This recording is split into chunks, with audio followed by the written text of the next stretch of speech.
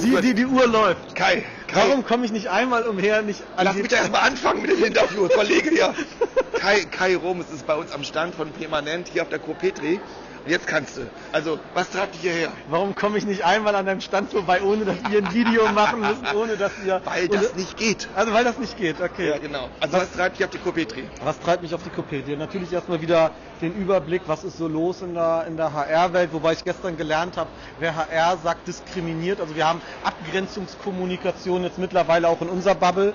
Äh, Finde ich sehr spannend und amüsant. Was heißt denn das? Erzähl mir, was bedeutet Abgrenzungskommunikation? Ja, Abgrenzungskommunikation ist, wer anders ist, wertet ab und diskriminiert. Also ich kenne, das verhindert Diskurs. Und das ist eine, eine Sache, die ich hier auf der Copetri auch bei vielen Workshops und Diskussionen so schade finde. Ja. Wir haben echt zu wenig Diskurs, wir haben viel zu viel gleiche Meinungen, wenn ich auch Ja. Diskussionen und Panel-Diskussionen zum Teil erlebe, wo ich fünfmal die gleiche Haltung, fünfmal die, das gleiche Verständnis und fünfmal das gleiche Argument höre in die gleiche Richtung, entstehen keine Vielfältigkeit an Meinungen. Das finde ich schade, weil ich Okay. glaube, wir leben vom Diskurs. Wir waren in Kiel vor zwei Wochen Ja, zusammen ja. und haben äh, zwei Tage zusammen verbracht, Dirk, wo wir extrem viel Diskurs hatten, ohne dass wir unterschiedliche Haltungsthemen hatten. Aber Ja, wir, haben, ja. wir, haben, wir haben eine gleiche Haltung gehabt und konnten trotzdem diskutieren. Das geht mir verloren ähm, und das finde ich schade. Ich glaube, damit fahren, fährt sich HR weiter in eine, in, in eine Bubble rein, dass äh, sie doch vielleicht nicht so ernst genommen werden, wie es ist.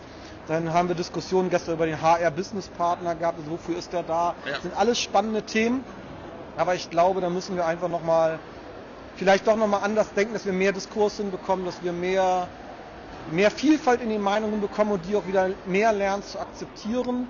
Und ansonsten war natürlich ja die Umbenennung der Selbst GmbH. Jetzt kommt das, pass auf, jetzt Ja, hier. ja, ja. Jetzt, Und- jetzt und- kommt der Werbeblock. Ja? Äh, und, und, Umbenennung der Selbst GmbH ins Inspiring Network und ich freue mich mit dir Dirk und mit dir Martin direkt zwei Mitglieder fürs Inspiring Network gewonnen zu haben ähm, und äh, freue mich dann nochmal euch auf, einer, auf einem unserer Netzwerktreffen, die kleiner, familiärer sind, die sind ähnlich wie der Campus in Kiel drauf zu machen und dann werden wir heute noch einen schönen Tag haben.